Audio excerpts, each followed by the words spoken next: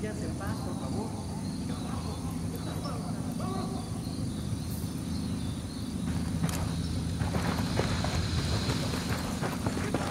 A esta gente no le importa nada ya.